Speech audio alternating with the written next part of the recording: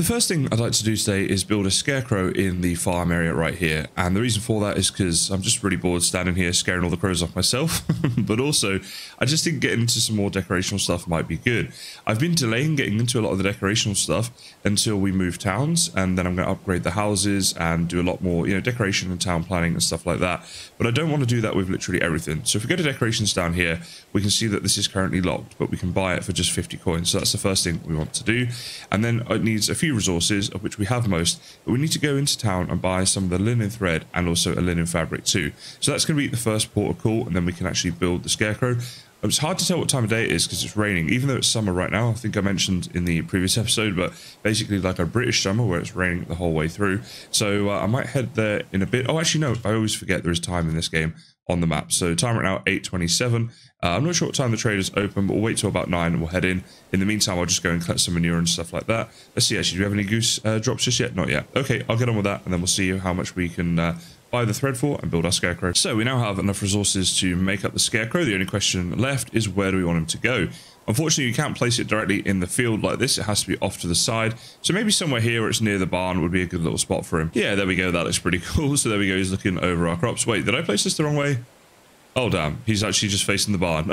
um, let's try and change that. Okay, so let's get our hammer out. Go to destroy. Wait, if this is all selected red, you know what? I've got a save real, like, recent. I'll just test this, but I just want to destroy just this. Yeah, okay. I was like, it's all, like, highlighted. That doesn't sound good. Uh, okay, let's try that again. Um, so actually, we put this uh, hammer back onto build mode, just so we're not destroying anything else. And I assume I now don't have the resources, right? Because uh, you lose resources. Oh, damn. We need to buy another linen thread and fabric and everything? Oh, boy. Okay. Uh, well, sorry my life, guys. Let's go and buy this stuff again. And this time, I'll make sure I place him facing the right way. I should mention that under the uh, skills tab right here, if we go to this tab here, production, uh, if we get, let's see, it's uh, handyman, is it? No. Uh, let's see. If we go down to master of destruction, had we uh, leveled that up, then we'd have got 50% of the resources back from when we destroyed that scarecrow just then and any other build. And it's been on my mind that I know I need to do that, especially when I move to town, but I didn't think to do it just for the scarecrow. Anyway, back at the market, we speak to this guy right here, and he sells the stuff that we need. So let's actually just scroll like this. There's quite a lot of stuff. So you can see here, if we buy one of the linen fabrics, very good, and we buy one linen thread too, in total it's 58 and a half coins. Obviously, I've just spent that twice because I'm a muppet, but uh, hey, there we go. So now we'll go and build that scarecrow again uh, but facing the correct way. Okay, so let's go ahead and try this once again. And what I think I'll do actually, let's scroll out so I can get a bit of a better view of this. I find sometimes building like this, you just get to see things a little bit better. Okay, there we go. So let's see, which way does he need to be facing? Okay, pretty sure that's correct. Let's place him down there. There we go. And yeah, so the back of the hat's there, the front is here, this is the head. Okay, we're good. So uh, yeah, there we go. We can we can call this Russell Crowe, Russell the Scarecrow, and uh, it'd be nice actually if by doing this it like improved farm yield or something. But I believe this is purely aesthetical. But that's fine. You know, it's not a bad thing. And uh, yeah, just makes the farm look a little nicer. Talking of farming, I'm going to get on with doing a load of farming now. We've got all of this wheat here to uh, harvest up, which will be pretty good. We also have, oops, if I can run in the right direction. Just up here is all of our flax, a big flax field to harvest too. Usually I do this stuff during the night, but honestly, with the rain like this, it's probably not the best visuals on screen for you guys anyway right now. So I'm just going to get on with it and then we'll look at the harvest after that's done. We've now managed to get ourselves a sunny day in the summer, so that's kind of nice. And as you can see here, all the harvesting is done here, apart from obviously these crops, which aren't ready yet. And up at the big farm back here, the big flax farm, we harvested all that too. And even managed to get a mining trip done there in the night. So quite a productive time while I was off cam. Obviously, I had the nighttime and the rainy day, so that really helped. Now, in terms of what we got with the harvest, if we go into our chest right here, over a thousand flax, guys, which technically has a value there of 5,000. We can, of course, sell that for about half of that. So we're doing really well for money now. That flax is awesome. Now, obviously, we're going to turn that into other things like linen, which will sell for even more. But yeah, that in itself is still awesome.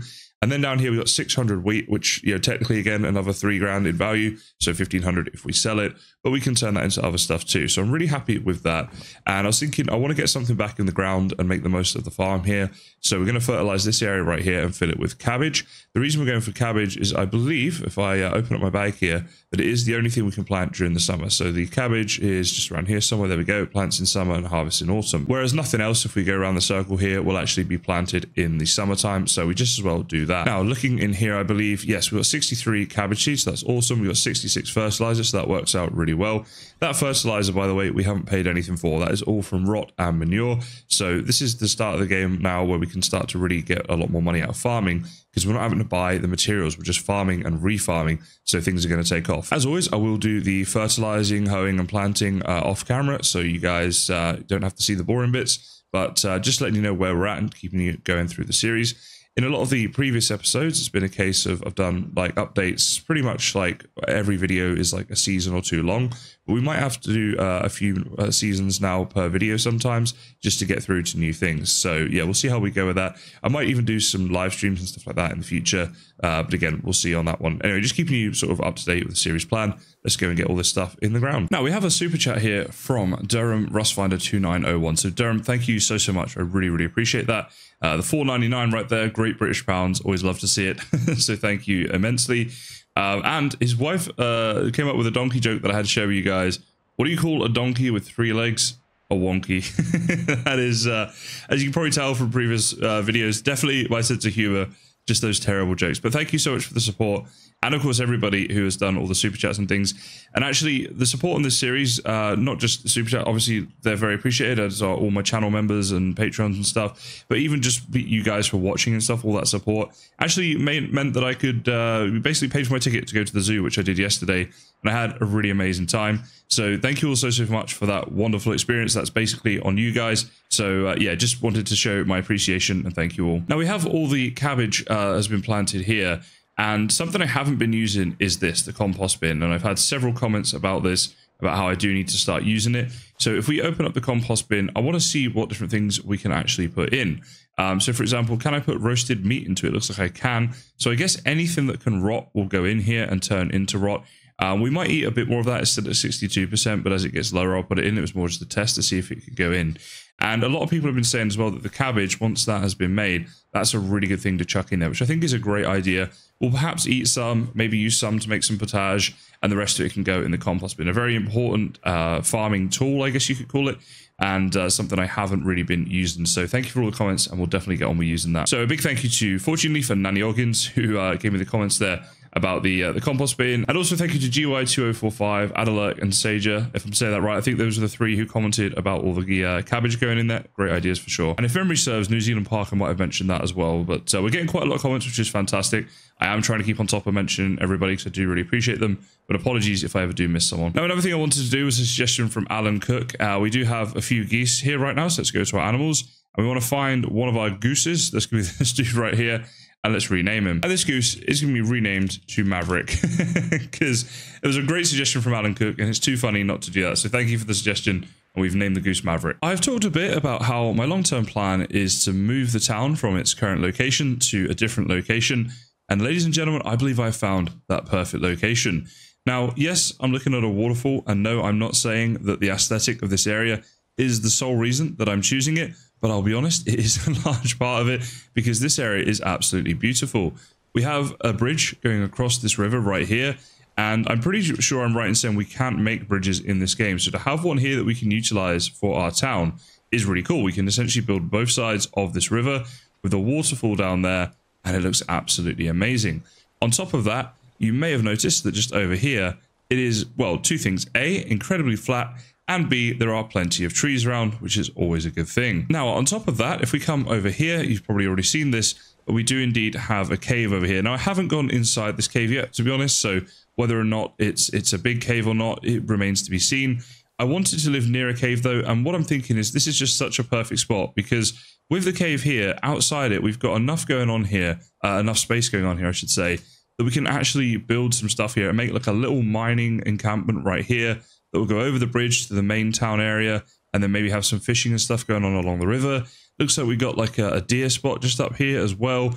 I really think this is such a great location and hopefully you guys agree because this is where I'm going to plan on moving the town to. Now, if I open this up on the map, I'll show you guys exactly where we are. So we are down here, just like this, as you can see. There's the, the waterfall roughly up in that way and obviously the bridge is there. Then we've got all this area here, which is like pretty flat, lots of trees, as you can see. So I just want to make sure you guys can see on the map right there, that's where I am. And if I zoom in, it's there. Because I know that some people are, curious to make sure they know where things are happening. And I totally get that. I would be the same if I was watching a series like this. So uh, I'm going to try to always remember to do that. Uh, but yeah, this is this is it. And it's actually good to have a nice look around here. See everything as it is right now. There's a little camp up there that we can loot. Actually, we'll check that out. But uh, then we can use this for future reference. In fact, what I'll do Let's go over here, we'll loot this, and then I'll get to a spot where I can get some better photos. Perhaps we'll go up on top of the uh, waterfall as well. Now, loot, what have we got here? Abandoned supplies.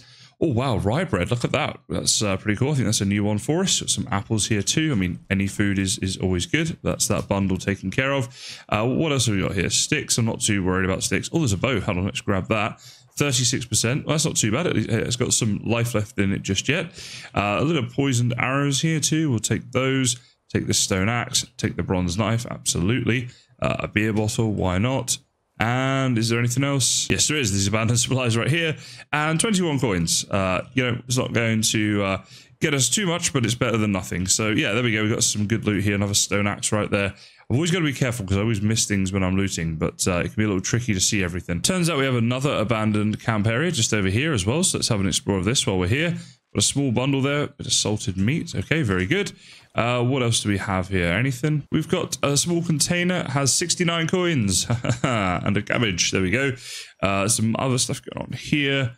Some apple wine. I mean, look, this is all going to be useful. We'll all use it for stuff, or we'll sell it, or whatever. So uh, it's all it's all helpful. And uh, I was hoping to find like a golden ring or something, like I did in the other place at the start of the season, but uh, wasn't to be. So I think we can run up this hillside just here. Looks like we can, just about. Yes, indeed. And we'll go and get on top of this waterfall and see what's going on up here. Okay, I'm now even more convinced because from this angle it looks even more beautiful. You can see we've got a smaller waterfall just there running down here to the bigger waterfall. And uh, if we look from up here, it really is a fantastic spot, isn't it? In fact, let's go ahead and do that. Unfortunately, because I've been exploring, it's it's not the best time of day to be showing you guys this. I will get some better photos and, and some better footage of this when it's sunny. So perhaps we'll come back and do that later on. But this will be the new spot for the new town. It's now the following morning, and Claude and I have ridden down here towards the area where the new town is going to be. If we open up the map right now, uh, you can see right here that we're, we're in the general vicinity. And what I think I want to do is start by building a resource storage somewhere nearby. Then we can start clearing some trees and stuff like that. This town is going to be very different to the other town that I built. Uh, one of the biggest differences with this one is that we're going to plan out a lot better uh, before we start building and probably take a little while to like move everything down here. We're not in a, in a rush to get things built here. We still have our other town, which we're going to be working on too. Uh, but this is just like a, a bit of a side project, but a big project and something I might do on live streams too. Now, I believe that I recently uh, unlocked the better storage building. So if we go to storages right here, uh, we have got the resource storage 2 that has been... Uh, oh, it's not quite unlocked. Okay, 960. Oh, we're close to unlocking it. Uh, so a few more buildings, we unlock that. I think that's the one I want to start building here. So what I might do for now is what I came here to do, which is just start clearing a load of uh, areas and maybe sort of like plan where I want to build the resource storage. Getting it right is a little tricky because it's probably going to need to move at some point anyway. What I think I want to do for now is maybe build it like here and we can start building the main area of the town over on this side in and around here. So that way the resource storage will be near enough, but it's not going to be in the way of any of our plans. Then later on, when we want to move it, then it's not too far to go from there over to there. So that's my general plan. What I'm going to do now is just pick up resources in the area to use for building this and uh, basically get started. As you can see, we have now unlocked the resource storage building. I got the rest of the points that I needed up by chopping down a lot of trees in the area.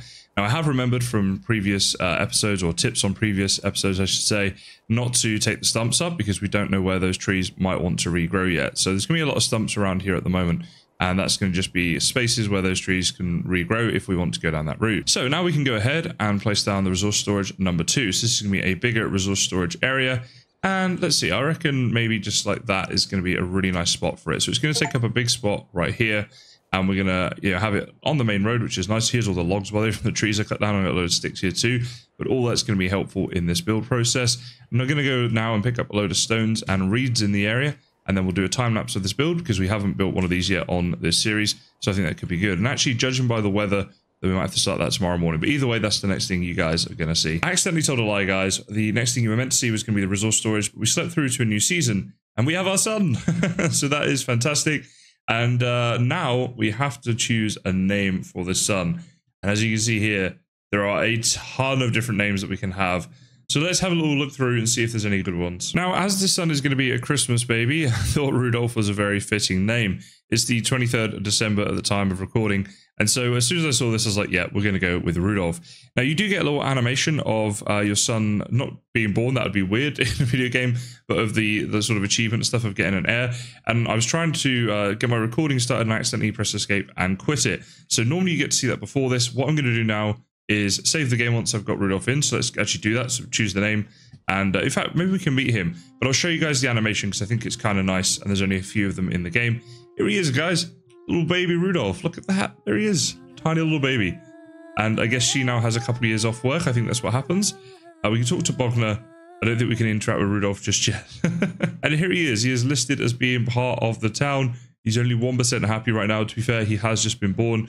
Um, interestingly enough, his skill level is like on par, if not better, than a lot of the adults in this town, despite the notable handicap of being zero years old. so, I mean, either this guy is going to be a super duper worker when he's older, or uh, that's just obviously how the game does it. So, yeah. Anyway, let me show you guys that animation because I'm sure it'll be cool. Oh, wait, oh, sorry. Before I do that, we've got a cradle. Look at that. So, we've got our double bed over here still. And now there's a cradle in here. This is a new thing. That's so, so cool. Um, I'm sorry, probably a lot of you guys already know about this, but this is the first time I've got to this stage, and it's really awesome. Now, out the window, we're seeing all new things there to go and look at, which we're going to do in just a second. But let me go ahead and play you that animation once I've saved here, so I come back in at this point. Okay, my apologies, guys. I just had a look. The auto save, the closest one I have is actually 20 minutes ago, and I'm a little bit pushed for time getting this episode out today, so I'm, I'm not going to go through that animation. But you know what? It'll be a surprise for you guys when you do it yourselves. Uh, do forgive me on that one. But let's have a little look what's going on here. We've got all these uh, cabbages now that are ready to be collected. We talked earlier as well how we can turn those uh, into rot in the compost bin if we wish. And if we open up the compost bin, we see there's some stuff has started rotting. So my belief is that when you put stuff in in one season, it will turn to rot in the next season. On top of that, the oats are now ready to be harvested. Good time because you can see the top left there, we do need some animal feed. And the one ingredient we're short on is the oat grain. Well, not any longer. Well, we are, I suppose, technically, but once we harvest all this, we won't be. Now, some of the bigger questions. Did the pigs breed? Let's have a look. Oh, they didn't. They didn't. No. Yeah. That's not a little baby being crushed underneath. That's his back foot. Yeah. Okay. No, no pigs breeding. Um, we do have a male and a female. I guess it's a matter of time, but it's not happened just yet. All good. We got to be patient with these things. I understand that. The donkeys already did their breeding. It was actually uh, suggested we could build a new donkey hut. So shout out to Obsidian Oak for the comment about that. And uh, basically, it's not a bad idea. You build another hut, you keep moving the foals into the new hut, and then these donkeys will keep breeding, and then you can sell the foals on or something like that. Maybe something we'll look to get into more at our uh, new town once we move there, um, or in the future at some point we'll look to do that, I'm sure. Uh, as for in here, looks like uh, we don't have any new geeses either. So yeah, they're being a bit finicky when it comes to the breeding. To be fair, I'm not being able to feed them at all times and that might be playing an impact, uh, having an impact, I should say. Anyway, what we'll do now, we will do the time lapse. Actually, yeah, no, we will. Okay, so we'll do the time lapse of the resource storage, then I'll come back and harvest the farms and get the animal feed going and all that sort of stuff.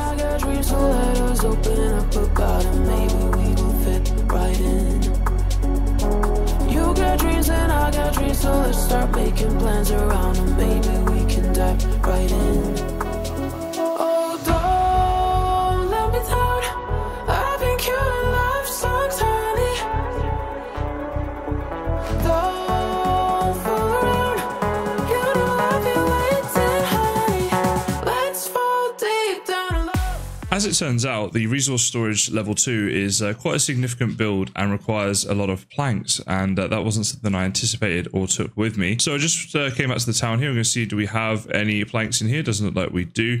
Uh, do we at least have some some logs? I guess we don't. I know that some workers at the moment do need tools, and that's probably why we don't have any logs here. So yeah, I dropped the ball a bit on that one. What we'll do now then, we'll go and get a load of logs and turn them into planks and stuff like that. Uh, and then, you know, once that's done, oh, I just noticed something our tree of beginnings has regrown. so this was something that we tested in a previous episode. We left the tree here. It has finally regrown, guys, in all its glory. Oh, there we go. so they do indeed regrow uh, when you leave the stumps, which is good to know. Uh, so yeah, I'm going to get the planks, then we'll finish the time lapse of that build. Apologies for interrupting it midway through, but just uh, keeping you guys posted with the progress as things actually happen in real time.